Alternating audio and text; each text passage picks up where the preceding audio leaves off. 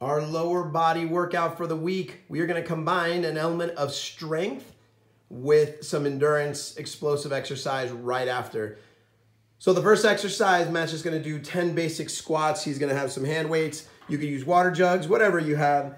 And his whole idea, his feet are gonna be out like on the clock at about 11 and 1 o'clock. Okay, he's gonna put the weight on his heels. He's gonna squat down and up. He's gonna go down for three and then up for three. These are meant to be really slow, really controlled exercises, okay?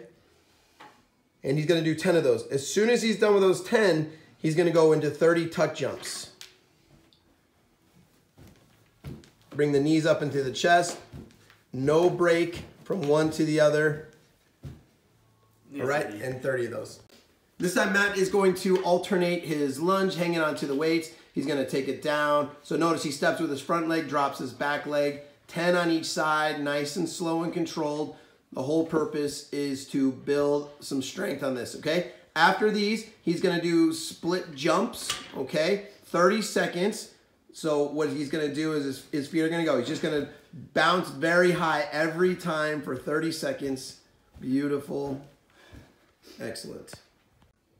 So Matt is going to do bridges, okay, with both legs. Notice he put the weights on his hips, on his legs to increase the, the weight. A lot of pressure is on his heels. He's taking them up nice and slow.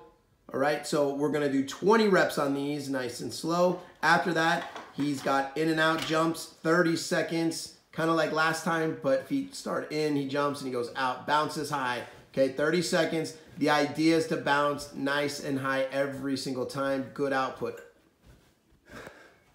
Next, we have a traditional wall sit.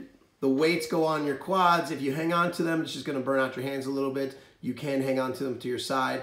One minute on that wall sit with the additional weight. Right after, you are going to do max jumps, okay? So your butt basically starts out at your heels, so your feet turn out. So not, uh, so it's like 10 and two. Your butt goes super low, and then you max jump up, and then right back down into low, max jump up. 30 of these in a row. All right.